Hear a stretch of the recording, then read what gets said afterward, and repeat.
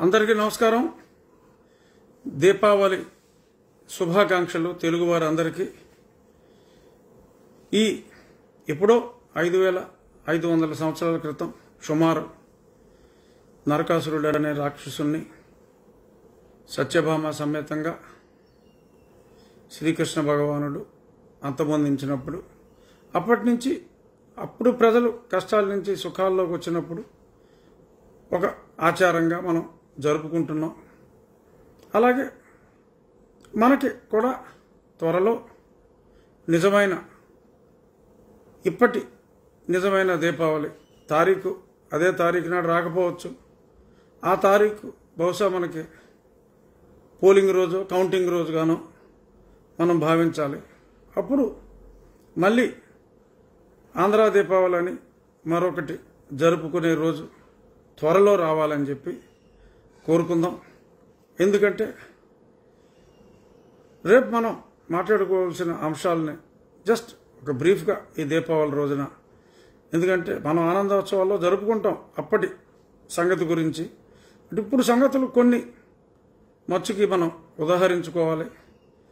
ఒకటి ఏమిటంటే మరి జగనన్న భూ హక్కు అంటే మన భూముల్ని ఆయన మళ్ళీ ఏదో రీసర్వే చేసి బొమ్మ వేసుకుంటాడని చెప్పి ఈ మధ్యన మనం వింటున్నాం. సరే కొన్ని బొమ్మలు కొన్ని పుస్తకాలు ఇచ్చిన తర్వాత దాన్ని మనం ఎలా ప్రతిఘటించాలో ప్లాన్ చేద్దాం. ఎందుకంటే భూమి నీది బొమ్మ నాది అది కుదరదు.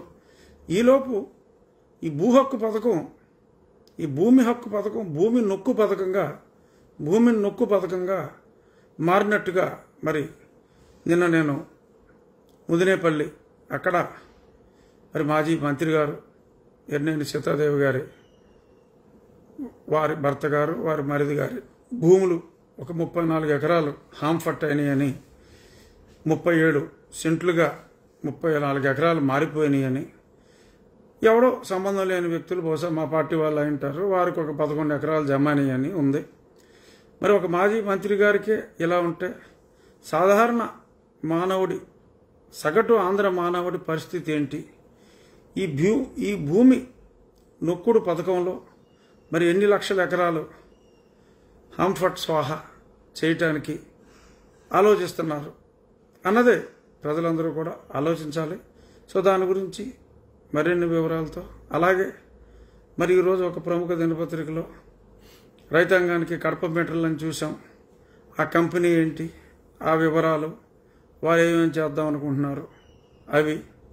ఇక ఈ సిఐడి వాళ్ళ ఆశాలు. మరి వాళ్ళ పరాకాష్ఠకు వెళ్ళిపోని ఓరు నాయనం అనేలాగా. మరి ఇప్పుడు మనం ఉన్న కష్టాల్లో ప్రముఖ అంటే కష్టాల నిర్మూలనలో ప్రముఖ పాత్ర వహిస్తున్న పెద్దలు మన రాజగోపాల్ నాయుడు గారు బిఆర్ నాయుడు గారు. మరి ఆయన రెండు వేల ఇరవైలో డాక్టర్లకు సరైన మాస్కులు రావట్లేదని చెప్పి వాళ్ళు డాక్టర్లు వెలుపుచ్చిన ఆందోళనని కొన్ని పేపర్లో వచ్చినాయి. అలాగే కొన్ని టీవీ ఛానల్స్లో కూడా పలానా డాక్టర్లు ఇలా వెలుపుచ్చారు నాణ్యత బాగోలేదంట ఇలా అయితే ఎలాగని. న్యూస్ ఛానల్ అంతకన్నా ఏం చేస్తారండి? న్యూస్ ఛానల్ ఇప్పుడు సాక్షులు ఎంత చెత్త రాస్తున్నాడు? ఉం? నారాసుర రక్తచరిత్ర అని అప్పుడు పేపర్లో రాశారు. ఆయన బొమ్మ వేశారు. అదంతా ఫ్రాడ్ అని తెలిసిపోయింది. ఎవరు నిజమైన వాళ్ళు దొరికేస్తారు.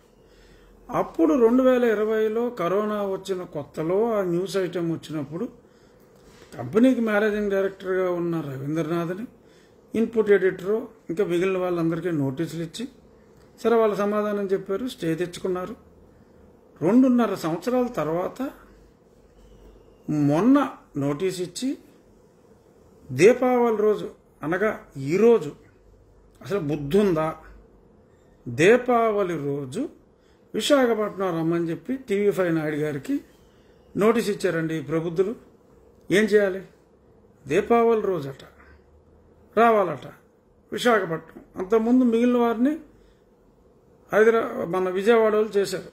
సునీల్ అండ్ కోయ ఇప్పుడు ఇదంట విశాఖపట్నం. ఎక్కడ? ఎంత దూరం? అసలు విశాఖపట్నానికి ఎలా మారింది? ఇవన్నీ కావాలని చెప్పి ఒక హెరాస్మెంట్ లాగా మనకి నచ్చలేదు. ఏదో కేసు పెట్టు.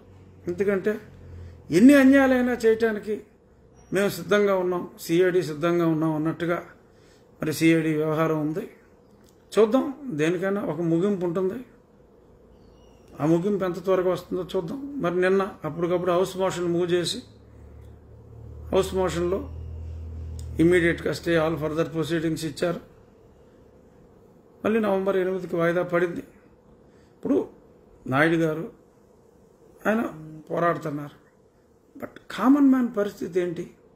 ఈ సిఐడి సిస్టంలో ఇటువంటి పరిస్థితుల మధ్యన సామాన్య మానవుడు బ్రతికే అవకాశమే చాలా కష్టమైపోతుంది. అలాగే రేపటి అంశం జన సేన పార్టీలో ప్రముఖ నాయకుల్ని ఆ ఏరియా ఇన్ఛార్జిల్లో తమ్ముళ్ళు గురిని తీసుకెళ్ళి ఉతికేశారు. నేను కొద్దిమందితో మాట్లాడా? మామూలుగా కొట్ల? చూద్దాం. ఇవన్నీ కూడా సిఐడి హింసాకాండ జగనన్న భూమి నొక్కుడు ఇలా కడప మీటర్లు ఇంకా మరో కొన్ని అంశాలతో. ఇవాళ దీపావళి కాబట్టి రోజు కష్టాలని డీటెయిల్గా ఇప్పుడు మనం స్పృశిస్తే బాగోదు. ప్రస్తుతానికి ఆ పాత ఆ నరకాసురుడి దీపావళి జరిపేసుకోండి. నిజమైన దీపావళి ఆంధ్ర దీపావళి కోసం వేయి కళ్ళతో ఎదురు చూద్దాం.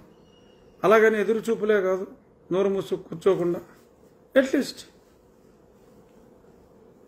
ఢిల్లీ వాళ్ళు ఉన్న వాళ్ళకి మన వాణి ప్రశాంత వాణి అశాంతితో ఉన్న మన మనసుతో ఒక ప్రశాంత వాణి వినిపించే ప్రయత్నం చేద్దాం. మరొక్కసారి ఐదు వేల ఐదు వందల సంవత్సరాల క్రితం జరిగిన ఆ మంచి సంఘటన ఆ దీపావళి శుభాకాంక్షలు. థ్యాంక్ యూ రేపు రచ్చబండలో ఒంటి గంటకి కలుద్దాం.